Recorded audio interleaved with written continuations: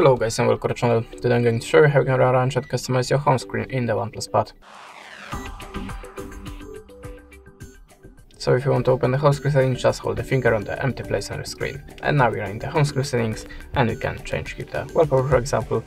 Just choose your favorite one and click apply. Choose the place for it and now we have a new wallpaper. Simple and easy. Okay, the next one, icons. If you want to change the design of your icons, you can tap on the custom and just add it to your needs. So just pick your best uh, best options for you, like uh, changing the shape, the size of the icon, uh, system colors, you can enable it.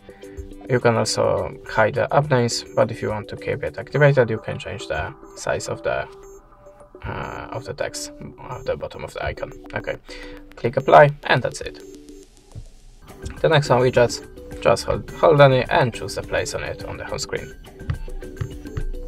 Now if you hold the finger on it, you can change the size of it by the little uh, edges or just remove that. Now the transition is have when you're swiping the pages, so I can see you have a preview of all, of all of them, so pick your best one and click apply. Okay, now you can go to the more, and here you can change your animation speed, to make your tablet a little bit faster. And that's it. Thanks for watching, leave us a subscribe a comment, and goodbye.